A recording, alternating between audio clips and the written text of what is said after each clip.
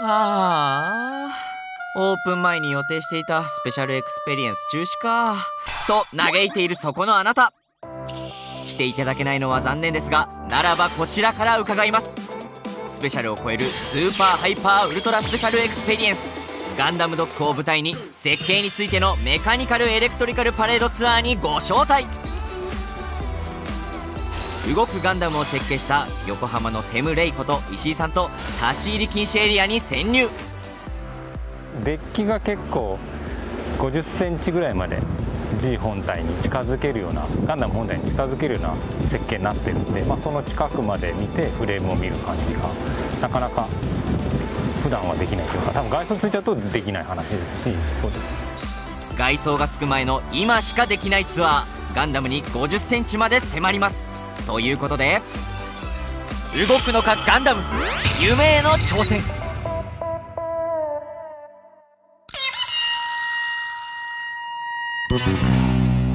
第12話テム石井レイプレゼンツ。動くガンダム設計について何でも聞いてよツアー。早速行ってみよう。まずは狭い通路を通って見上げた先にははいいきなり登場。今日はガンダムの骨をこの距離から見れるのか。楽しみだな。さてさてツアーマップだと今いるのはここだね。ガンダムのつま先部分。実物大ガンダムの設計。石井さん設計ってどんな作業なんですか？絵を描くっていうよりはなんか最初やっぱ計算をしてどこをどれぐらい動かすとかっていう話とかでそうすると重さがどれぐらいになりそうでみたいな話で強度が足りなかったりみたいな話が出てきたりしてそこを形で工夫したりとか、まあ、でまた重さが変わってきたりする。また負荷条件がまた変わってくるんででもう一回あの条件を変えて計算をして回したりとか。でそうすると今度はやっぱ減速機のトルクが足りないみたいなモーターのトルクが足りないみたいな話が出てきたりしてまたそこを見直してでそうするとまた重さが変わるんでそれでまた計算を回してみたいな要は動くためのパーツを設計し強度が足りない箇所は工夫を凝らしするとまた重さが変わるから再検討しての無限ループ。設計ってごめんね。超地味だね。いや超地道だね。でもすごく大事そうな感じは伝わったよ。ところで石井さん設計の計算って学校で習うような数式とかを使うんですか？そうです。なんで三角関数とかあのめちゃくちゃ使ってます。よくねあのこんなの習って何の役に立つんだみたいなことを言われる学問な気はするんですよ。めちゃくちゃ使ってます、ね、サインコサインタンジェント。設計とは計算の繰り返し。計算しては書き直してをやっているうちに書いた設計図の数はなんと1000枚以上。石井さんお疲れ様です。続いて石井さんが連れて行ってくれたのはガンダムドックの2階。ここはすね石井さんすねについてるこれは何？これはあの足首のモーターと減速機ですね。なるほど。ちなみに減速機は簡単に言うとモーターをパワーアップさせる装置。モーターだけじゃ動かせない大きなものを動かすことができる超重要なメカなんだって。でもなんで足首の部品がすねにあるの？普通人間の足首ここにあると思うんですけど今回ここのすねの真ん中ぐらいに来ていてでそれが何でかっていうとガンダムってここにアンクルガードっていうあの外装が来るんで。そう。ガンダムの足首にはアンクルガードがあるので曲げることが難しい。そこでガンダムらしいデザインを残しつつ可動域を確保するために関節をすねに設計した。するとガンダムのデザイン性を残しつつ綺麗に足首が動く。ように見せることに成功。実はもう一つ気になることがあってすねの部分って内側に曲がってるけどもしかしてこれも意味があるの？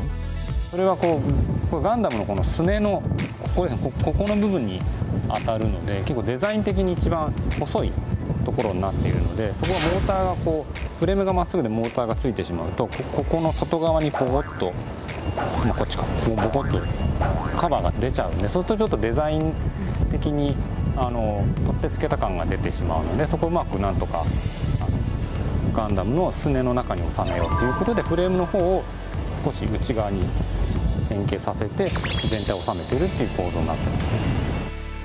今回のテーマは動く。だから完成した時のガンダム感をイメージして絶妙な骨の設計を作ったんだね。このツアーでしか見られない骨には石井さんのアイデアと設計の苦悩が詰まってる。このツアーオープンまで繰り返し見ようね。次はどこだろう？ツアーマップだとガンダムの膝あたりかな？あ膝の減速機は足首の減速機よりもかなり大きい。あの減速機ナブテスコさんに作っていただいてますけど、えっと、国内最大級の減速機というふうに伺ってます。世界初のプロジェクトに国内最大の減速機そんなナブテスコさんみんな実はお世話になってます。このマークどこかで見覚えありますよね？そうみんなが普段使っている自動ドアのマークなんです。この自動ドアもナブテスコの製品の一つなんです。自動ドアの国内シェア50%産業用ロボの関節に使われる精密減速機は世界の60%がナブテスコのものなんです。ここで取材スタッフが石井さんにどうしても聞いてみたい質問が。この裏から見るシリンダーが一番目がかっこいいと思うんですそうですね。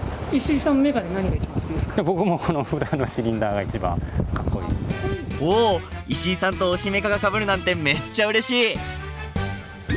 ところで裏もものシリンダーってどんなメカなんですか？この前後に動く長さが変わるデバイスですね、まあ、これが最大級ということで、えっと、出せるトルクがあの膝はギリギリ収まってるんですけどももとかになるともうこのこのクラスの減速機でも対応できないので長くしてあげればその分トルクが出せるようになるのででシリンダーを使ってるっていうとこです今回の減速機の性能上膝の屈伸運動が減速機で動かせる最大ももを動かすにはさらに大きな力が必要なのでテコの原理で大きな回転力が生み出せるシリンダがベストなんだね。使われているメカのかっこよさもオープン前ならではのマニアックな視点でした。今しかできない設計ツアー続いてはガンダムの腰のあたり。ガンダムは実は3つに分かれてるというかこのトロリーにつながってるこの支持フレームって呼んでるものに対して足が1本ずつとこの上半身が1つ別々につながっているの。でていう構造になってます。設計図にある腰の緑色のフレーム。これが支持フレームと呼ばれるものなんだって。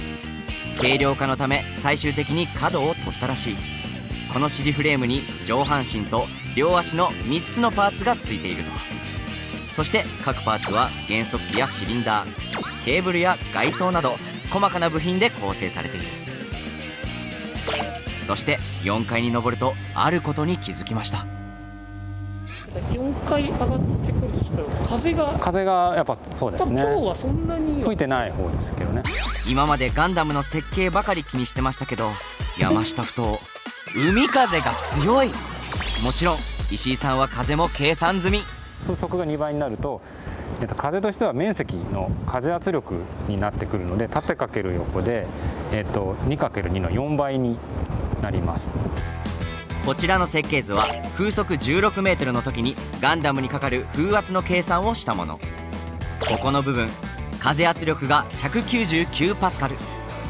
分かりやすく言うと 1m×1m の面積におよそ 20kg ビール瓶1ケースの圧力がかかっている。そしてこちら風速 55m 台風想定の計算ではかかる圧力は2352パスカル。つまりおよそ 200kg の圧力がガンダムを押すことになる。ここでもやはり設計は計算でした。続いてはえー、っとでここがちょうどコックピットに当たる高さになるので。おお原作だとコックピットがある高さ。石井さんもやっぱりガンダムを操縦したいですか？いやいやでもここに乗るってことはあの高さですからね。僕操縦する機会が好きなんですけど、はい。まあ建設機やってたのもあって、はいただこの高さのものは の歩行ロボットはちょっと嫌です。ね高所恐怖症の石井さんでした。今日はお忙しい中ありがとうございました。最後にガンダムを設計する上で一番重要なことは何ですか？ガンダム愛ですね。これは、まあ、私だけじゃなくて関わった人全てのガンダム愛があってベクトルがこう一つの方向を向いてたので今回今日こういう形になってると思ってます。手胸に近づけたと。ああそうなので嬉しいですけど。ね動くガンダム設計について何でも聞いてよツアー。今世界で一番テムレイに近い男石井さんがお届けしました。次回は外装パーツ取り付け山下ふ頭にガンダムが。